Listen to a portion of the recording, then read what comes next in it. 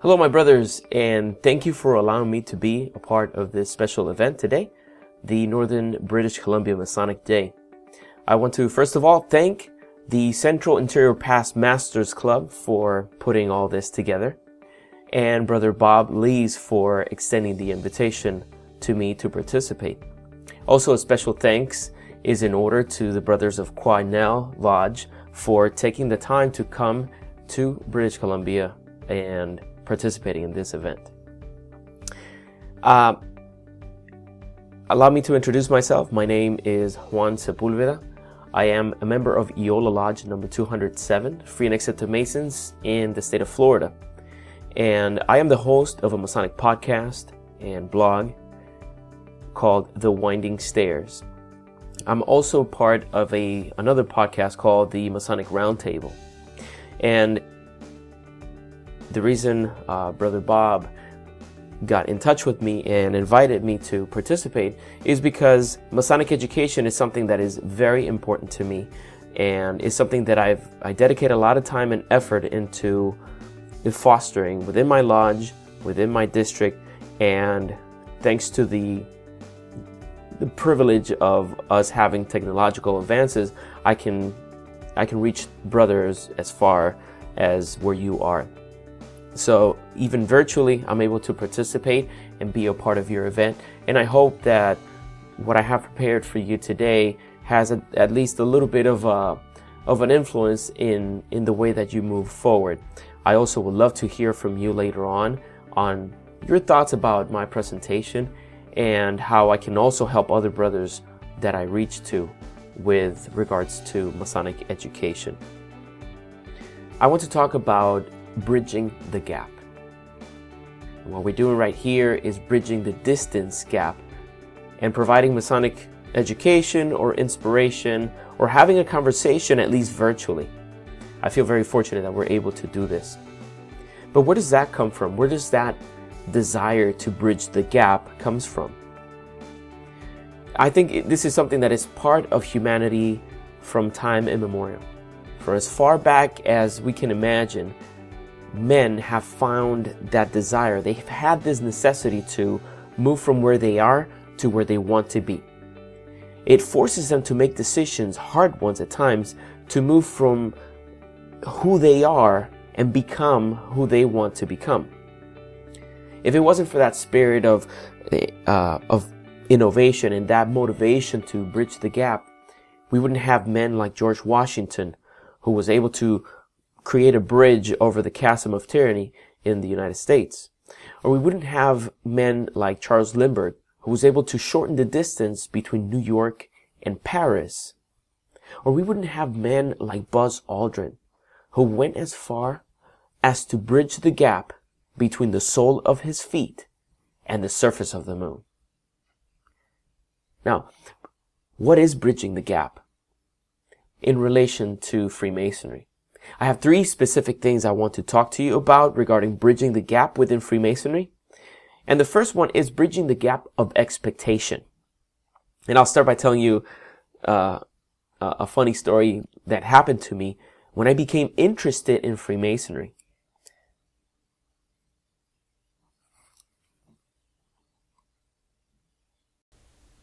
Allow me to start with uh, a funny story that happened to me when I became interested in Freemasonry, um, many years went by and I did some research, some over the surface research because I didn't want to spoil the experience if given the opportunity to join. But I found out things that made me very curious and things that I really hope became part of my initiation experience and my my progress through joining Freemasonry.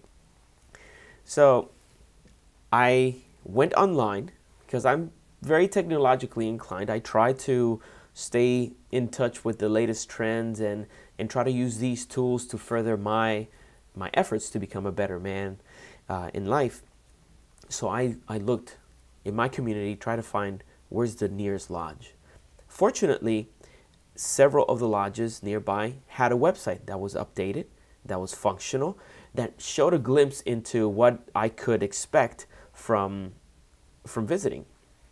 So I reached the one that I believed was the, the most convenient for me to, to join, and I submitted my petition. Unfortunately, I submitted my petition near the end of the year where uh, our elections in, in the state of Florida happen um, in uh, towards the tail end of the year. So by December the 28th, the the transition uh, from from the past masters to the new ones is is starting to happen. Well, I submitted then, but I had no idea what to expect. So I wasn't nobody explained to me that there's a lot of events happening towards the end of the year related to the Masonic community. Nobody told me that election was happening and that it was a, very hectic time for me to to seek admission. Therefore, any response from the the petitions committee it was significantly delayed. Uh, I started be, to become impatient. I started to think, I wonder if they've accepted me or not. Uh, have they found me worthy to be part of this organization or not? Which it was just uh, senseless paranoia. But I did actually reach out to the secretary of the lodge, and I happened to be in touch with him through another of these technology tools. And you've probably heard of Twitter, right? For those of you who don't who might not know, Twitter is just a application for communication in which you express yourself by little sentences, 140 letters or 140 characters or so. It's a very informal way of communicating. And if you think of email, some people consider it to be a little bit of in, informal when it comes to business or lodge communications. Well, Twitter is even less formal. Now, my expectation of a response, I expected someone to, uh, you know, this is how I envisioned it.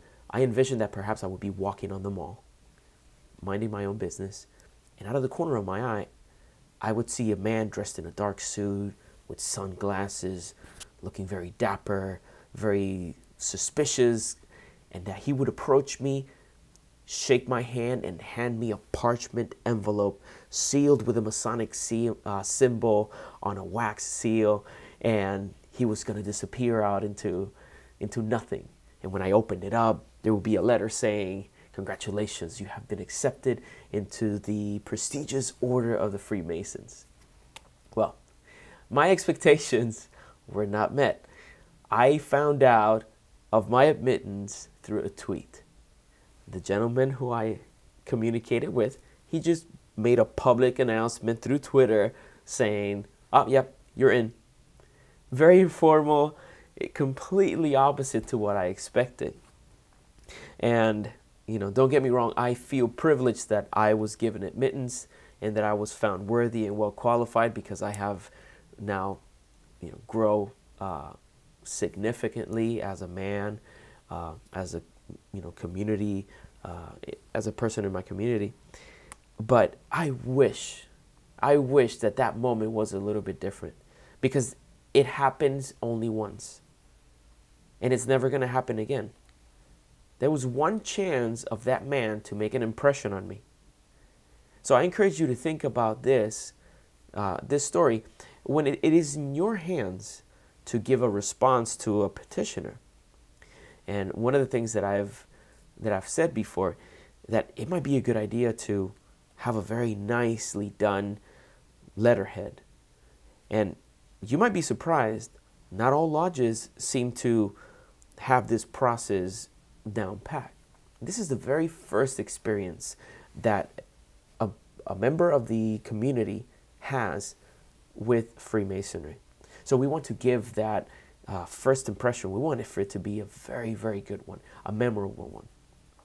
And I'm not, I'm not advocating for us to uh, have a two knights on a horse handing a man a, a parchment envelope, but a tweet is something that we should really uh, consider as an option to to communicate to someone who is seeking admission into our fraternity. So there's that gap of expectations, and I would be foolish to come to you and just say, this is not what we shouldn't do this. I like when people bring concerns to the table.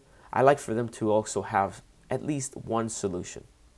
And like I say, I like I like it even better when people come with a solution and also a commitment to help in that. And perhaps this secretary that tweeted to me about the my acceptance into the fraternity, perhaps he had a lot going on. I really can't judge why he chose to send me a tweet as opposed to taking the time and you know putting together a really nice letter. Uh, so I really don't want to ju- jump into conclusions. And I, I, love my lodge dearly, but they know that I use this story as an example of how we need to strive for excellence in even the most minuscule moments uh, in which we interact with the public, because it actually helps in bridging that gap of expectations. We perhaps uh, make their expectations a little bit more realistic. If someone had told me that a man in a suit wasn't going to stop me in public, uh, perhaps I would have uh, the shock wouldn't be as as as great whenever I received that tweet. So one of the solutions that, that I have is for everybody to communicate what was their expectation before petitioning for uh, the degrees in Freemasonry. Sometimes in this happens in business uh, quite a lot that whomever is the leader of the business makes a decision that feels good, or they think, well, this would be good. But oftentimes they miss opportunities because they don't actually tap into the sources that they have access to. There might be people out there that have different expectations about their business, about what direction their product line is going to move into.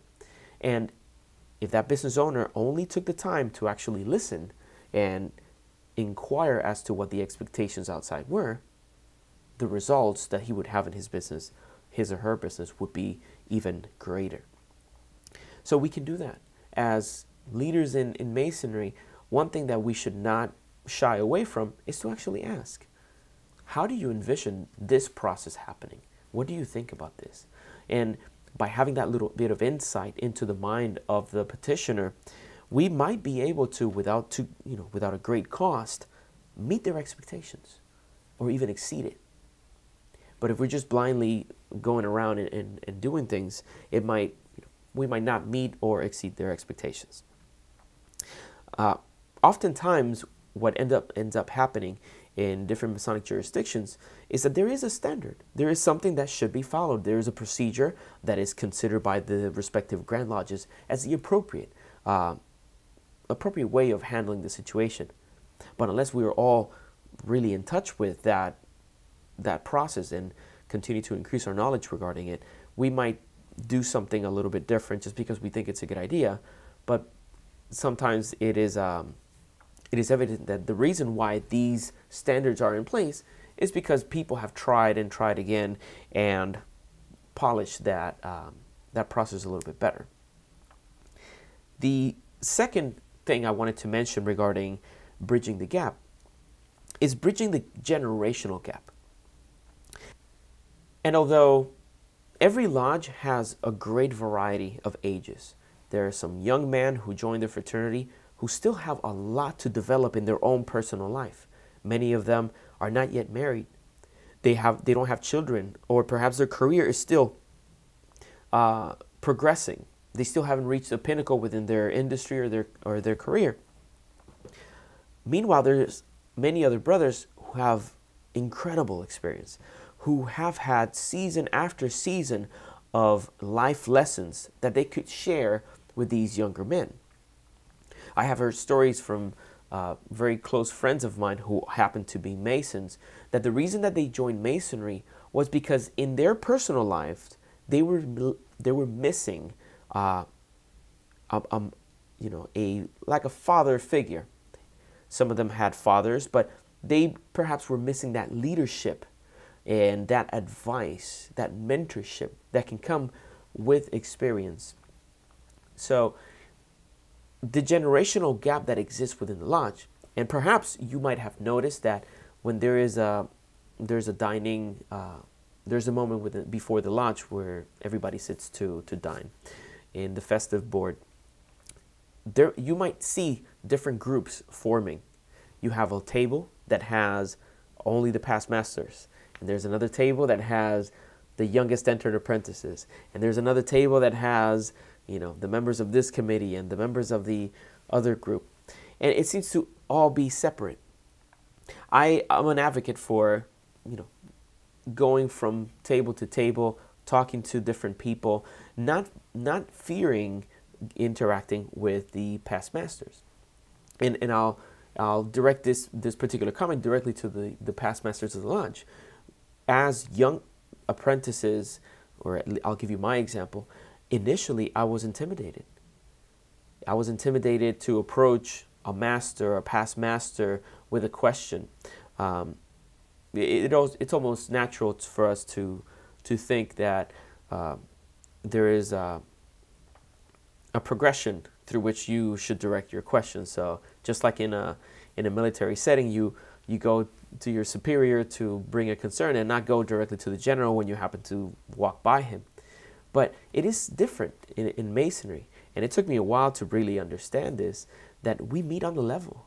We are brothers from that moment when we take our obligation we are on the level. And yes, there is a great discrepancy or there's a, a great gap of information from one generation to the other. But herein lies our job to make sure that everybody feels comfortable. Also, uh, some of the younger, uh, some of the younger members of the fraternity shouldn't be concerned. Just like I mentioned, we all meet in the level. We meet on the level, and we should be able to freely speak with one another and try to explore as much as possible um, the the lessons of Freemasonry and the lessons that come that come with age. Now, going back to the way that I found out I was accepted into the fraternity, the gentleman who who was the secretary at the time was relatively young, and if he had a better contact with a, a more seasoned brother, perhaps they would have been able to counsel him in the right direction so that the, the quality of his communication was up to par with the expectations of someone from, from the outside. The other benefit of bridging this generational gap is an example is what's happening right now. I am able to be in the hot Florida weather right now and I am recording a video that's going to travel thousands of miles and be presented to you during your event. Unfortunately, I don't I don't have the opportunity to be with you in person, and I do look forward to one day actually sitting in lodge with all of you. Uh, but right now, that's an it's not an obstacle because I, uh, brother Bob, uh, brother Bob had the the the insight that perhaps we can do this remotely and I'm glad that we thought about it because I'm still able to participate and technically sit here with you and, and discuss some, some lessons that, that I have learned.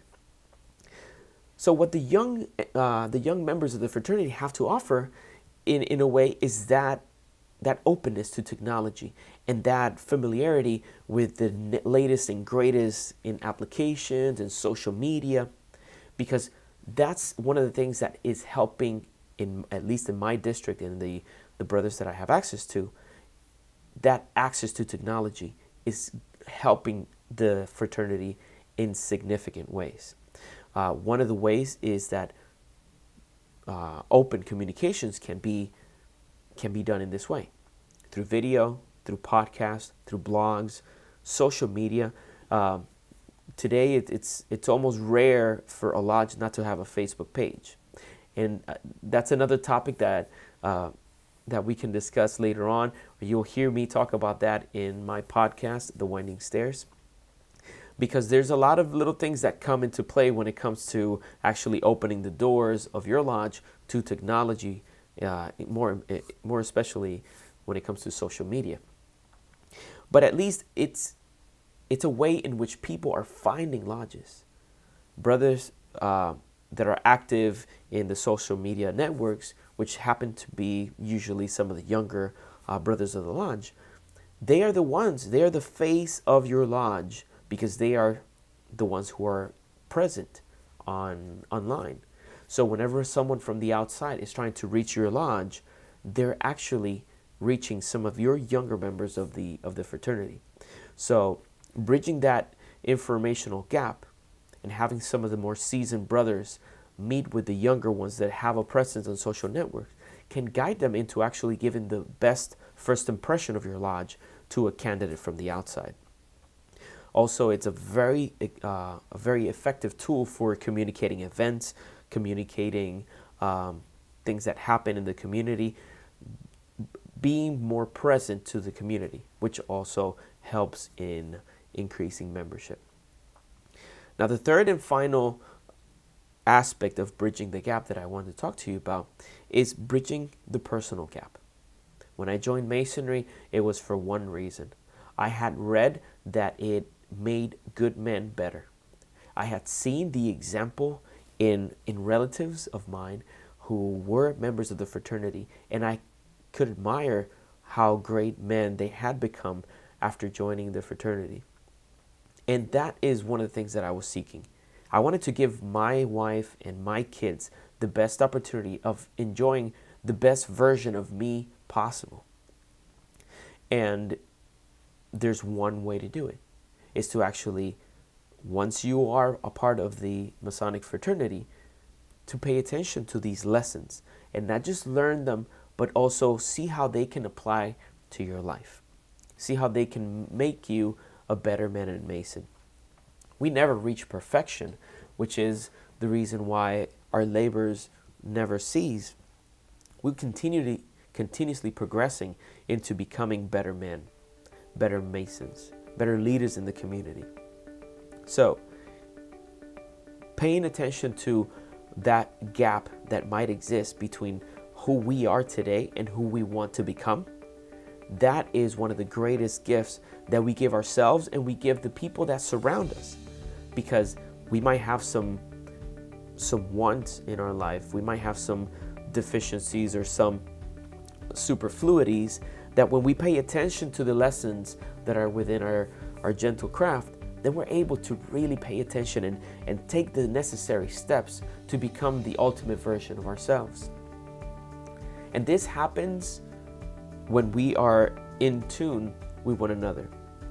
I love that we're able to join together here through this uh, virtual conversation because it helps uh, it helps me also reflect on the things that I have been learning.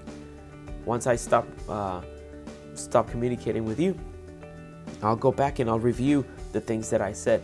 And if is there a way in which I could become better at those? Is there a way in which I can better apply some of the lessons that I'm sharing with you today? I'm not perfect, and I don't think that I will ever be perfect, but it's that progression that I continue and that you brothers continue. That's what sets you apart in your community. That's what sets you apart in the lodge. Who best can work.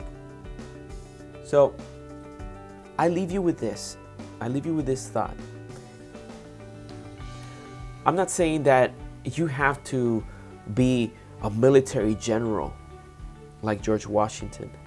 And I'm not saying that you have to become an explorer and risk your life and try to be an aviator like Charles Lindbergh, or that you have to become an astronaut like uh, Brother Buzz Aldrin. But what I'm saying is this that there are gaps that we recognize in our life. There are things that we know could be better, whether it is how we treat ourselves, how we treat each other, the way in which we practice the lessons of our craft.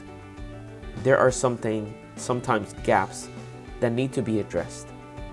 Now, I encourage you to consider once you recognize these gaps, think what's your role within it? What is it that you can do, or what is it that you can inspire others to do in order to bridge those gaps and help continue to polish that stone, help continue breaking the superfluities of that rough stone, thereby making it a better fit for the builder's use? Thank you again for the opportunity to join you today, and may your travels be safe. And I hope that I continue traveling with you up the winding stairs.